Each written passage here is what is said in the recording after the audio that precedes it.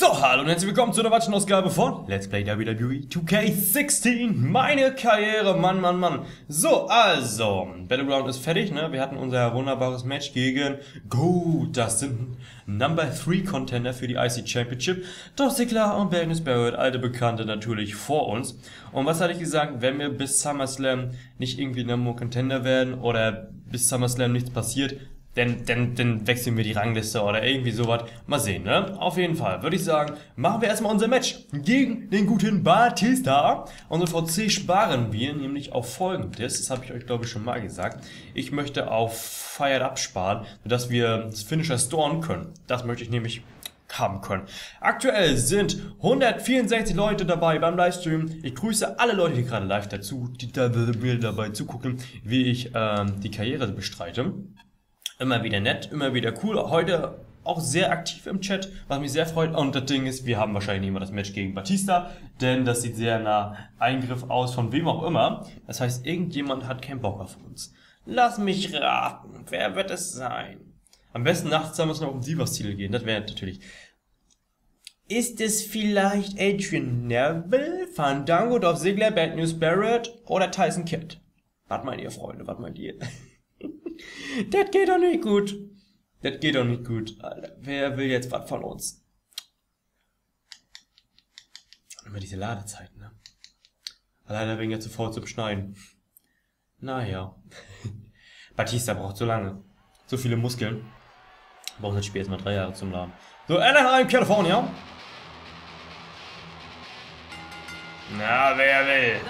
Wer will? Bad News Barrett. Okay. Ich würde sogar sagen, wir nehmen die Fehde an, denn er ist Number One Contender.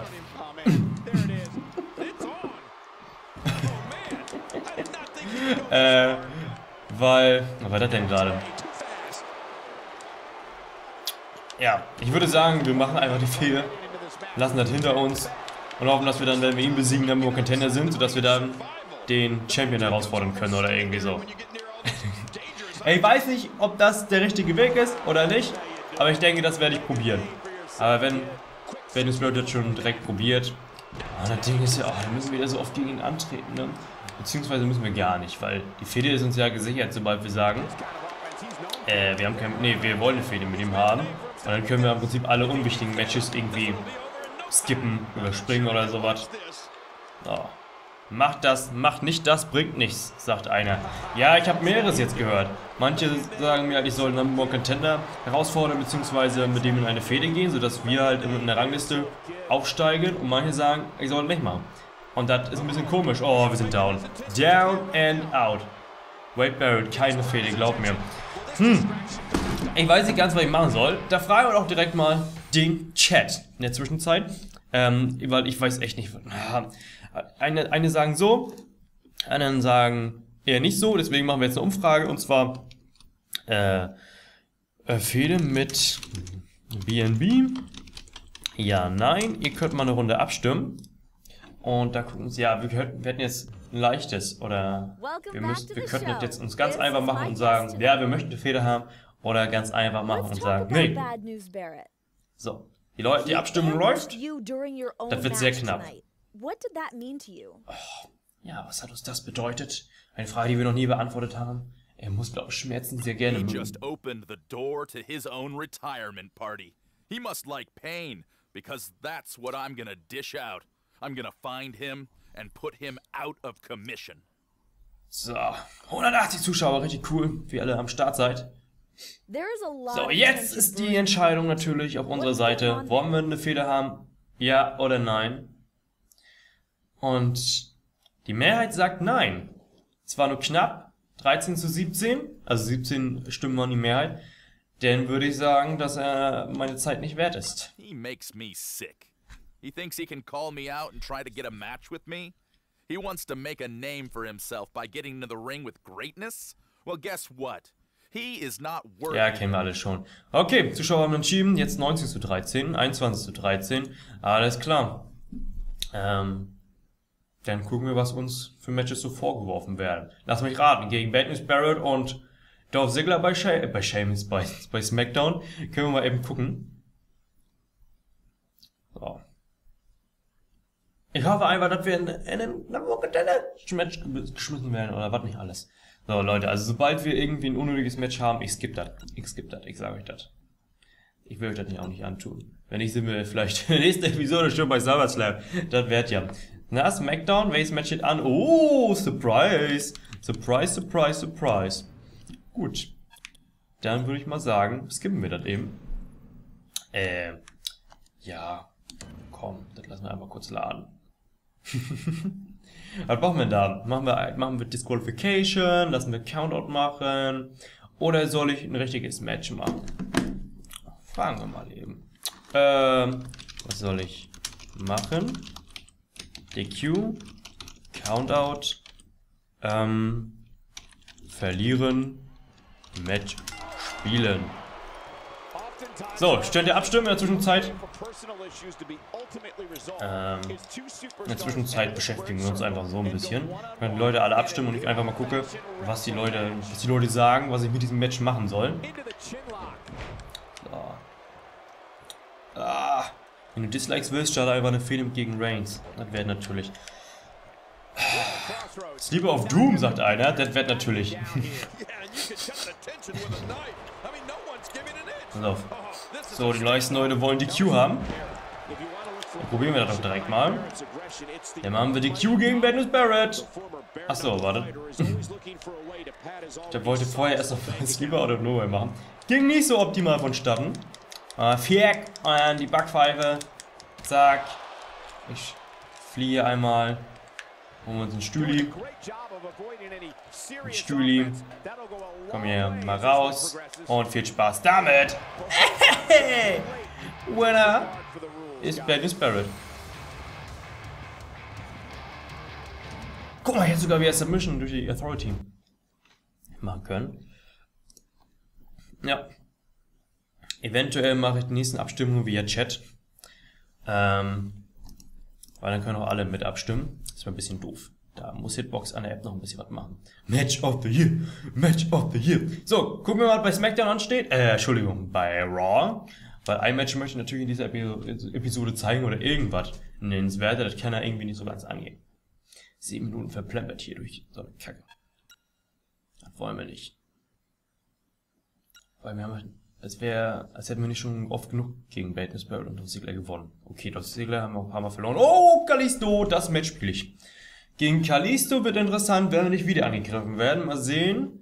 Das gibt es doch nicht. Wer will denn jetzt schon wieder was von uns? Guck mal, die guten Matches, die wir spielen könnten, werden uns nicht gegönnt. Durch Eingriffe und was nicht alles. das ist ja echt kacke. Vor allem, wir sind jetzt in der zweiten Woche, das heißt, wir hätten in die Fehde schon wieder länger als SummerSlam. Oder er sagt das falsch. Jetzt Sigler, ich glaube auch. Oh! Fertig, 78 Spende, 2 Euro. Mach weiter so. Danke, danke. Danke, danke. Danke, danke. Danke, danke. Vielen Dank für die Blumen. Vielen Dank für die Spende via PayPal. Oder Basic Card, keine Ahnung. Na? naja. Ganz was Neues. Neville, zum zweiten Mal. Alter. Oh, Kacke. Neville, ich hab dir schon einmal gesagt. Wie ich jetzt im letzten Stream, in der letzten Aufnahmesession genannt? Was hab ich dir gesagt? Was habe ich dir gesagt? Du sollst mich nicht nerven. Oh, Pam. Alter. Come on. Warum machen die keine coolen Environmental Grapples wie in S207? So. so. Okay. Hey, hey, what you doing? Seid ihr schon mal Signature? Wollte Suplex sagen, warum auch immer. Wenn er einen als Signature Move hätte, wäre natürlich sehr praktisch. So, wie wär's mit... Ah, macht er sogar. Wollte aber eigentlich Austin Grab ansetzen. Hey, how about it? How about it? Nice. Scheiße. Hat er den Punkt bekommen, ne? Zählt jetzt schon als Match. Ich meine, wir haben jetzt schon die 10 Minuten um. Das nervt mich voll. Das will... Oh, toll.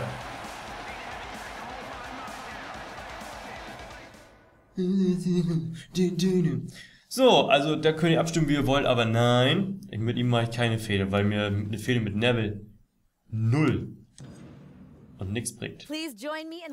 Fuck you. Er heißt nur Neville. You must be scared. So, he's not worthy of my time. Und tschüss. das war doch eine tolle Episode. Lass mich raten, bei SmackDown. Was steht denn wohl bei SmackDown an? Was steht bei SmackDown an?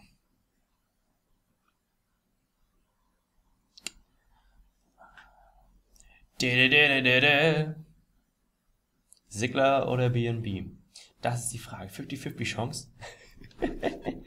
also, wir machen kurz die Abstimmung. Mal sehen. Äh, zurücksetzen. Ich will mal sehen, was die meisten Leute sagen. Entschuldigung, mal wieder die andere Abstimmung. Wer wird mein Gegner? Kleine Interaktionsmöglichkeiten. Hier Abstimmung, yes, no. Irgendwie ist mein, ist mein Abstimmungsding kaputt gegangen. Ich möchte nämlich einfach mal gucken, was die meisten Leute schätzen. Wer unser Gegner jetzt sein wird. Entschuldigung, dann machen wir diese Episode kein Match. Ich mache dann so lange, bis ein Match kommt und skip so lange weiter. Wer wird der Gegner? Pass auf, da gucken wir mal. Haben wir so viele Abstimmungen heute in dieser Episode, das geht ja gar nicht klar. Äh, BNB, Sigler, jemand anderes. So, stimmt mal ab. Ich warte mal kurz, ein paar Sekündchen. Und dann gucken wir einfach mal, wie ihr so entschieden habt. Ich mache schon mal auf Simulate to Next Event. So, weiter geht's. Okay, die meisten Leute sagen jemand anderes. Und sie haben leider nicht recht, denn Sigler ist es. Sigler war auf Platz 2. Tja, Sigler. Du willst es also wissen, ja? Es ist so doof, ey. Es ist so doof. Ach Gott, ey. Was machen wir jetzt hiermit? Oh Gott, wer schreibt mir denn? So. Nein, ich kann gerade nicht telefonieren. Ähm. Ende. DQ. Countout. Spielen. So, entscheidet mal. Äh. Sigte hat mich lieb, ich denke auch. Stehst du oder sitzt du? Ich stehe immer noch. Traurig, ich denke auch. Okay. Okay. Leute haben sich schon wieder fast entschieden, ist aber auch etwas knapper als sonst, würde ich sagen. Ja, ich lasse noch ein bisschen laufen. Viereck. Pam. Also ihr merkt schon, bei Livestreams dabei sein ist ein einmaliges Erlebnis. Ihr habt ultimative Kontrolle. Nein, nicht ultimative, aber ihr habt ein bisschen Kontrolle. Wir wollen ja, wir wollen ja die, die Katze, was wollte ich sagen, die Katze im Hund lassen, die Katze im Sack lassen. Warum sagt man das überhaupt? Ähm, weiß ich nicht ganz. Okay, also die Mehrheit sagt wieder die Q mit zwei Stimmen Vorsprung vor Countout. Oder nach Countout. Sollen wir recht sein. Nehmen wir uns diesmal einen Sledgehammer. Ja, gewonnen. Katze im Hund lassen, ich denke auch. Ja, das wird was.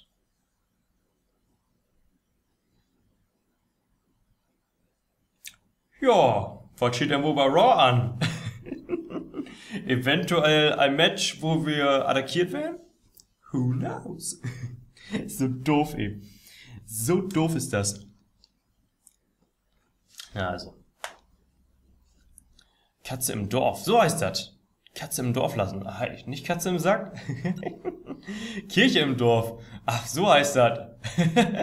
Aber was war denn mit der Katze? Warum komme ich denn auf Katze und Hund und... Ach, keine Ahnung. So, bei Raw, wer ist unser Gegner? Oh, Kane. Und werden wir angegriffen oder haben wir ein richtiges Match? Wir werden wieder angegriffen. Wie gut ist das denn? Ähm, ja, und wer uns diesmal angreift, das erfahren wir dann in der nächsten Episode. Ey, das ist so doof. So behindert. So, vielleicht erkennt man daran, dass ich den Entrance nicht äh, abschalten kann. Das ist so doof eben, ne? Dreimal hintereinander. Ähm, wer unser Angreifer ist, wenn man so möchte, erfahrt ihr in der nächsten Episode. Daumen hoch für cool, Block aus, euer Franz und sagt bis nachher um 18 Uhr. Haut rein. Tschüss.